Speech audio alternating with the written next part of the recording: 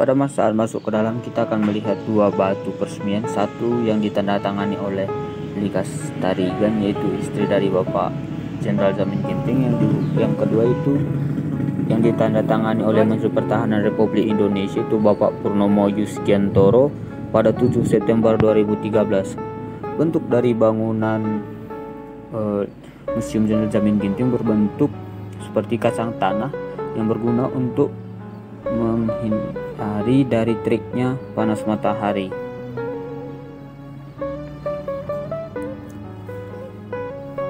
Kisah dari Bapak Jamin Ginting juga uh, diangkat dari sebuah layar lebar, layar lebar yang berjudulkan Tiga Napas Likas adalah sebuah film Indonesia yang diproduksi oleh Orino Film punya uang pada tahun 2013 berdasarkan naskah garapan Titien Watimena.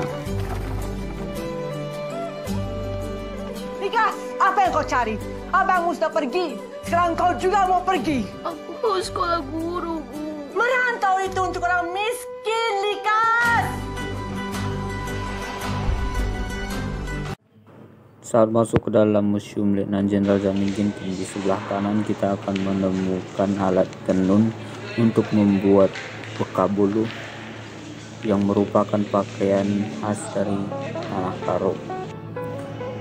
Sebelah kiri kita akan melihat alat-alat musik dari tanah karo dan ada juga keperluan-keperluan sehari-hari yang dipergunakan oleh masyarakat Karo.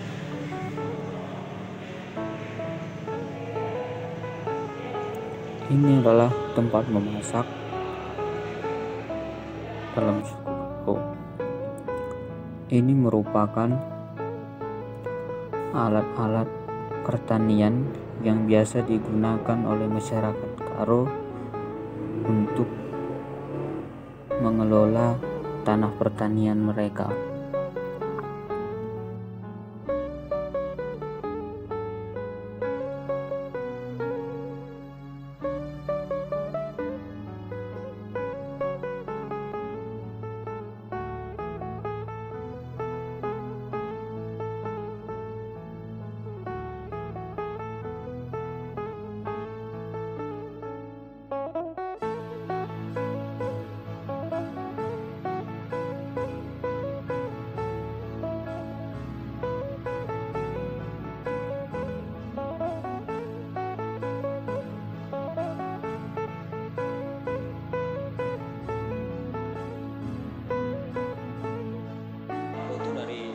Letnan Jenderal Jamin Ginting dan sebagai informasi jalan dari Tanah Karo ke Medan diberi nama Jamin Ginting dan merupakan salah satu jalan terpanjang di Indonesia. Di dalam dinding museum terdapat foto-foto beliau sewaktu masih menjadi tentara peta Indonesia dan saat beliau bertugas sebagai duta besar Indonesia di Kanada. Di sini juga terdapat pakaian-pakaian yang beliau kenakan sewaktu menjabat menjadi duta besar Indonesia di Kanada.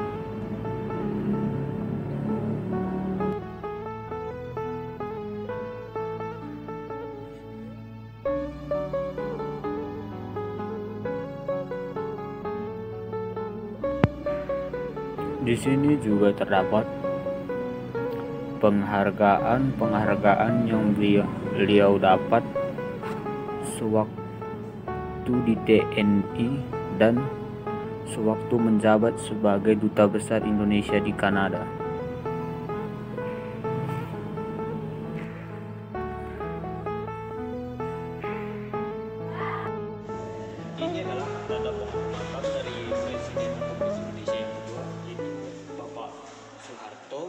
Yang menganugerahkan kepada Bapak Letnan Jamin Ginting sebagai an- anumerta tanda kehormatan bintang Mahaputra dengan pangkat Letnan Jenderal TNI sewaktu menjabat sebagai Duta Besar Republik Indonesia di Kanada.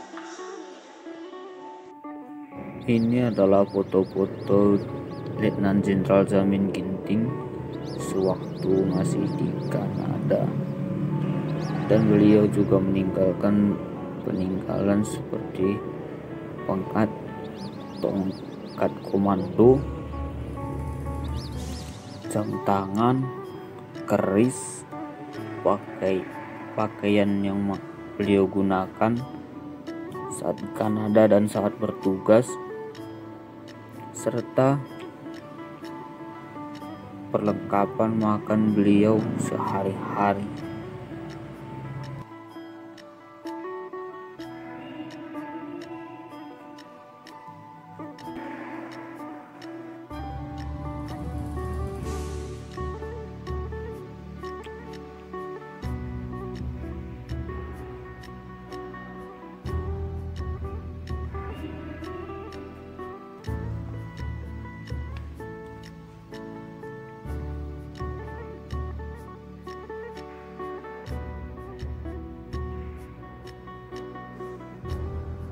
Di dalam museum, kita dapat melihat peninggalan-peninggalan yang beliau gunakan dalam kehidupan sehari-hari seperti baju dinas, koper, senjata, serta alat makan yang beliau gunakan.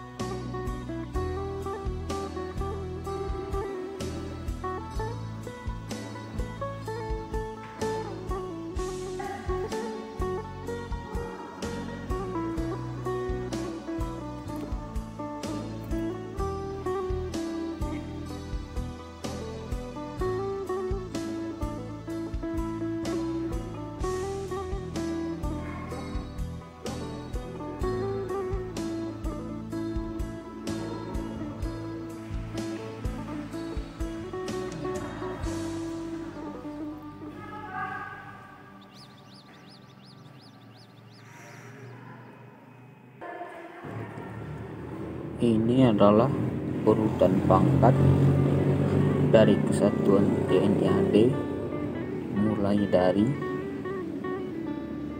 Tamtama, Bintara dan Perwira.